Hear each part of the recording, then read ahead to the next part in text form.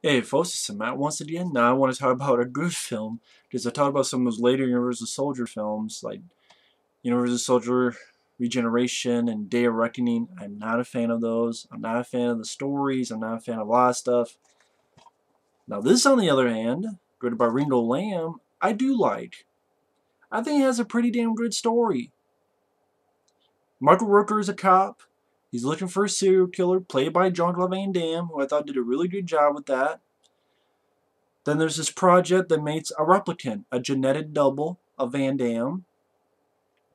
So Michael Rooker has to use his genetic double to find the real killer.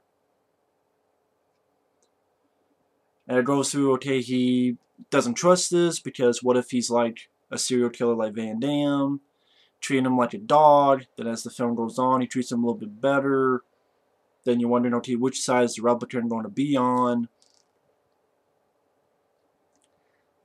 I thought this was a pretty damn good flick. It's a 5.3, which I on IMDb, which I feel is way too low. Again, I really like Van Damme as a serial killer. I thought he played evil very well.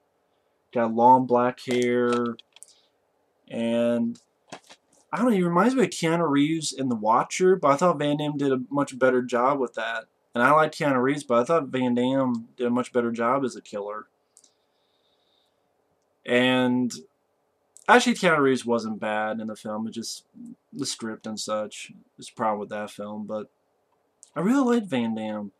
I mean, the beginning where he, this woman's crying and cowering, and Van Damme goes, "You're a bad mother," and just kicks her in the face and breaks her neck by kicking her in the face and kills her.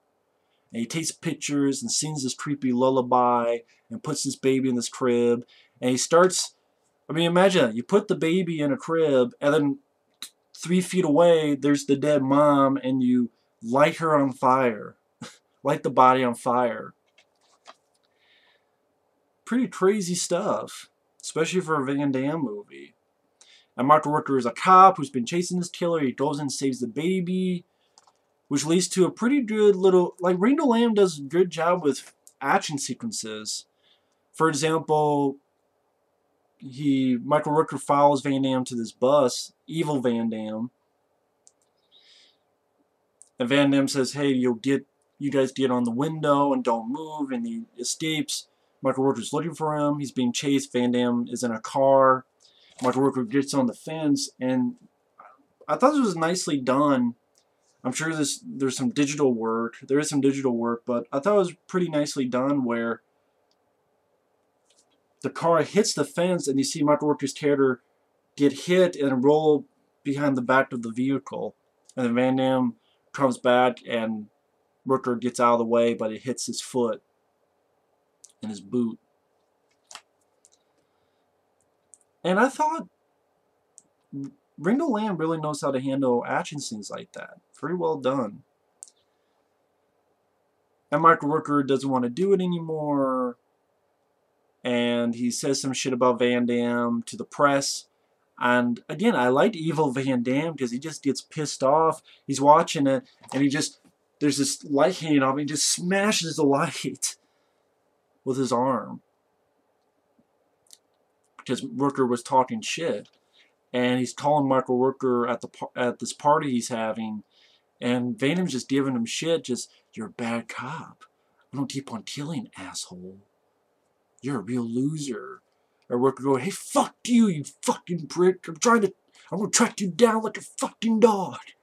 Michael Rooker, before I get into more, I I've always enjoyed him as an actor. He makes a great bad guy in films, a la Henry Portrait of a Serial Killer.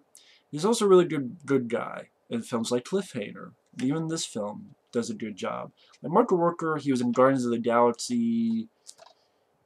He was in Slither. He was in Mallrats. I know he's going to be in Mallrats 2. Michael Rooker always does a really good job. Really underrated actor. It was so it's cool to see him in this film. And Van Damme playing two roles, two very different roles, an evil serial killer who obviously had mommy issues. And also, but also, I say that, but it's not in a, they don't do it in a laughable way. Which I thought was the right choice. They didn't do it with him just crying, mama. They didn't do that, which was great. Like he played a really good bad guy, but then also the genetic double, the replicant, again, completely different performance. So people who say Van Damme can't act, they need to see this film. Because he plays two roles, two very different roles, and I thought he did great in both of them. Then this government agency takes Michael Rooker, and they realize he realized they made this replicant, this genetic double, to help track down this killer. And it's this the project is a secret, so they can't really say much about it. They're training the replicant how to sit, how to stand. He's doing the splits, gymnastics, things like that. Again, another good Van Damme performance, like when he's brought in the food and he's guarding it like a dog, and he's lost, has that lost look on his face, and Michael Rooker handcuffs him to the desk, and like a dog, like a trapped dog, he just gets pissed, just tears the damn thing right off the wall. And it's the analogy that he's sort of like a dog. You treat a dog bad, it's going to act bad. You treat a dog well, it's going to be loyal. I, I like that idea. And again, Michael Rooker at the beginning does treat the replicant like shit. Even just to the point where he threatens him, then gives him the gun, and then some agents come in, and Van Damme gets chased around, and you realize that Mark Rooker gave him an empty gun. There's a moment where Van Damme's in the back of the cop car, and he's just imitating what he's seen. Van Damme goes, drop the gun! And Rooker just smashes the cage that separates between them to tell Van Damme to shut up.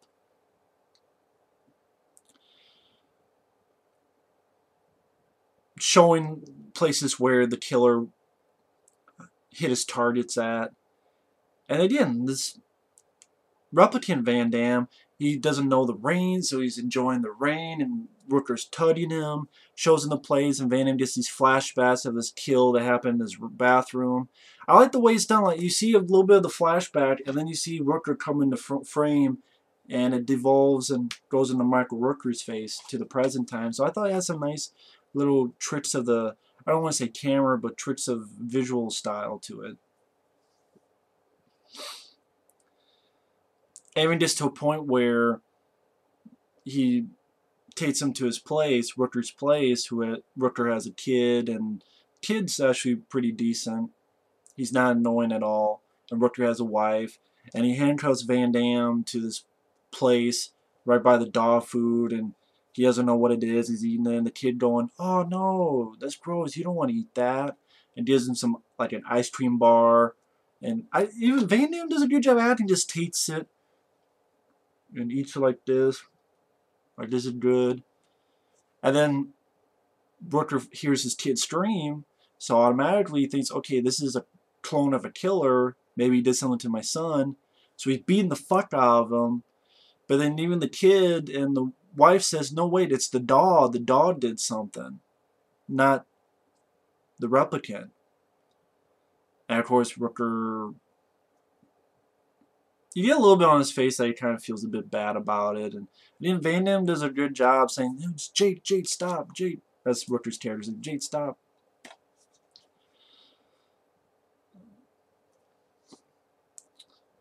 Even to a point where Rooker wants to give the guy back to the agency but the agency fucks around with them.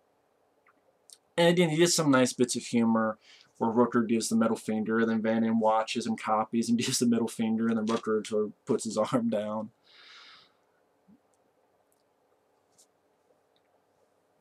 And then even Rooker's mom says, hey, you know, you treat someone bad, they're going to uh, act bad, they're going to uh, be bad. So he starts being nice. He gives Van Damme the replicant a blanket and makes him a pillow. And this is when he starts treating him nice. It would have been nice to have a bit more scenes of Rooker treating Van Damme nice. I mean, you do get a little bit more, like, lets him ride in the front seat of the car this time, gets him some ice cream, things of that nature. But I would like a bit more scenes of that. So the transitions is a bit smoother. That's just my little take on it still pretty decent.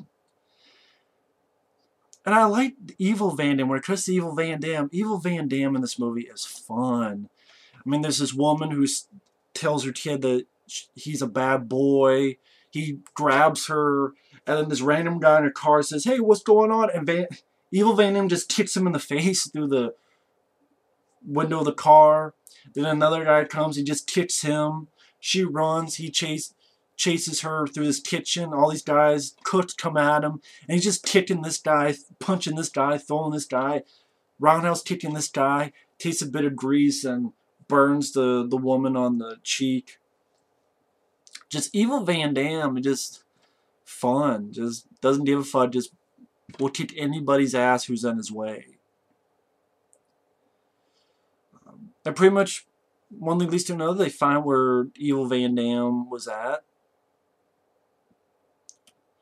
And the replicant knows something's wrong and gets up and warns them. They get out of there just in time. Good practical explosion. And the replicant sees the evil Van Damme and chases him into this bar. And they get him pretty much gets his ass kicked by evil Van Damme. Idea, just evil Van Damme's fun. There's another guy and who's by the bar. The owner of the bar wants to call. And evil Van Damme just kicks him. Here's all this glass, just punches it and throws it. Then takes the phone, just throws at him and goes, no more phone calls. Then takes a gun, just shoots him, boom. Yeah, this evil Van Damme doesn't fuck around.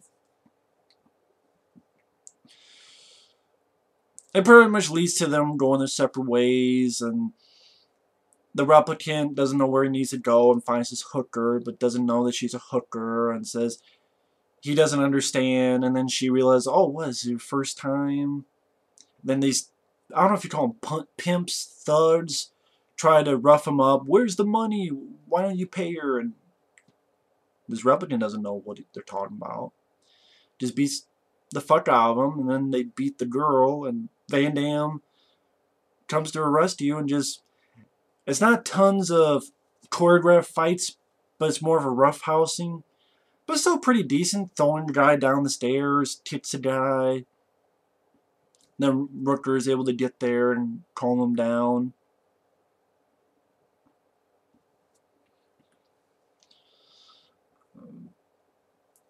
And jumping a little bit ahead, some other stuff happens and gets to the evil Van Damme sees his mom in the hospital. And you know, I like this guy when he plays his characters like no more. You bitch. He just kills her. You realize that he's killed her. And you get a little bit of the backstory where when he was a little kid, the mom had put him in a closet, put him in a closet and tried to burn the whole place down, and he was able to escape, and, and again, kind of a fucked up childhood.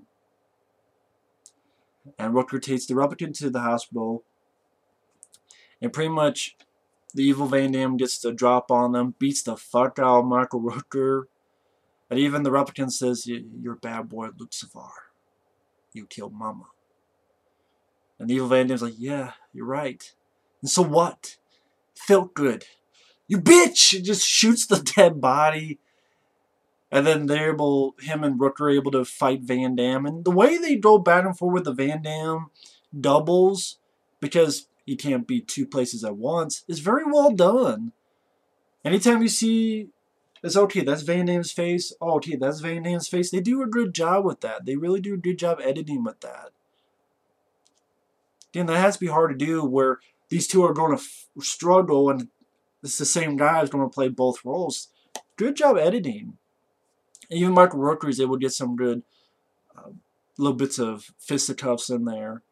And then you get into this once again, Evil Van Damme being fun, just going through the hospital. Even takes a guy in a wheelchair and just pushes him in front of another guy. Here's a girl, here's a woman, just tips her in the stomach, throws, beats up these cops, hits one cop who goes through this window, throws another guy through that window, and Rooker chases him. You get an excellent car chase where Michael Rooker does some of the stunts and some pretty damn good stunts as well. It shows that even direct-to-video action scenes can be pretty damn good. And low-budget films can have pretty damn good chase scenes and action scenes, and practical as well. Just Van Damme gets in an ambulance, the evil Van Damme, and Rooker gets on the door and he's hanging off the door and is barely scraping by pillars and even to this row of cars where a lot of his Michael Rooker, you see a close shot of Rooker hanging off the side of the ambulance with cars underneath him and sparks going on. It's really Michael Rooker. You see certain scenes. Really good stunt work. And Rooker did a really good job with it as well. And did him fighting Van Damme. And it's bouncing so high, it's breaking the lights of the, the roof of the garage. Pew, pew. Even get to a point where then it crashes and flips and really good action sequence. Damn good. I just see this in a big budget movie, but for a low budget direct to video film, I thought Ringo Lam did a great job shooting this scene. Really good practical effects practical stunt work, I should say, and really nicely done. Rooker chases him, he beats up Rooker, tries to burn him, and the replicant gets there. They get in a fight. Decent fight. I mean, not one of Van Damme's best fights, but it's alright. Rooker's able to shoot the evil Van Damme and says, hey, we need to get out of there. The replicant pushes Rooker, closes the door on him, himself. The place is going to blow up, and you get the idea that he hid in one of the, kind of like a morgue.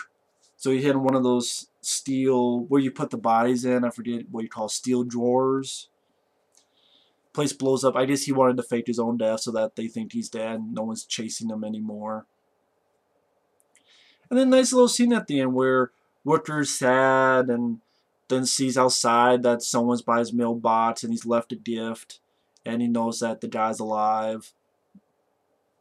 Hanging out there with it.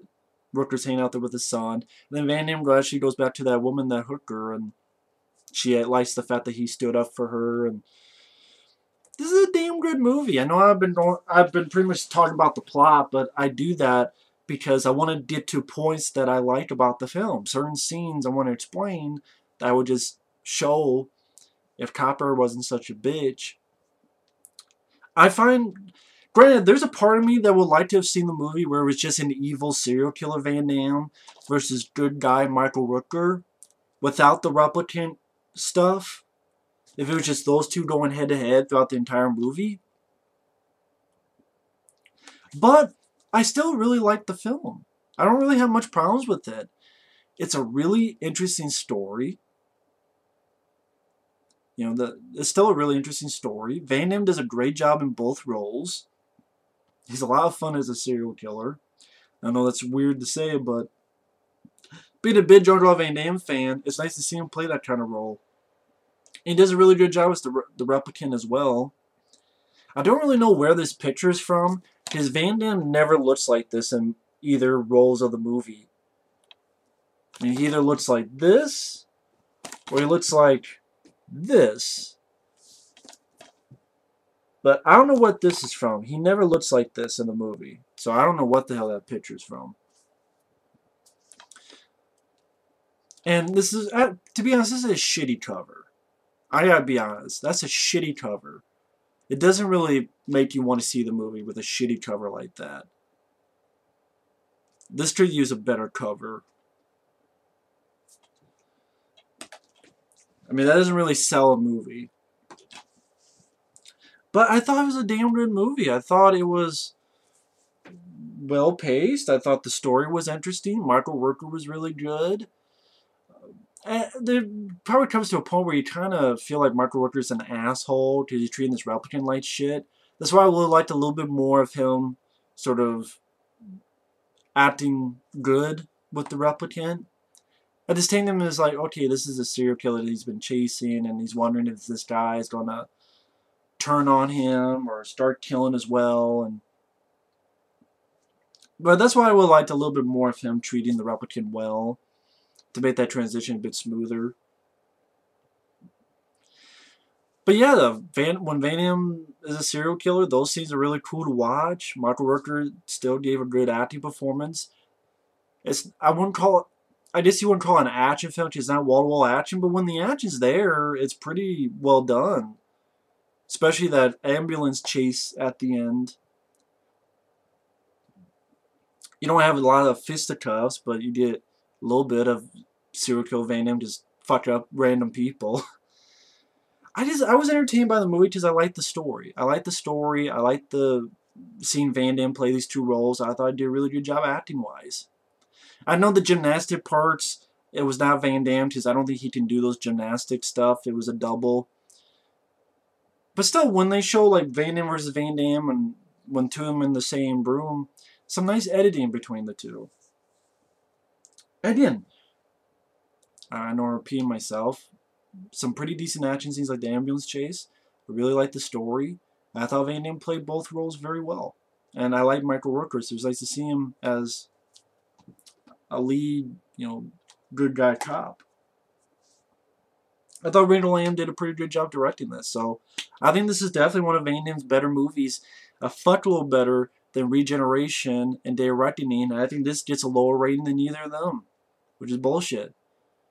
I think this gets a lower rating than Regeneration Day Reckoning. I think this is a much better movie. It was a much more interesting story, and definitely much better acting performances by Van Damme, and he is actually the star of the movie as well.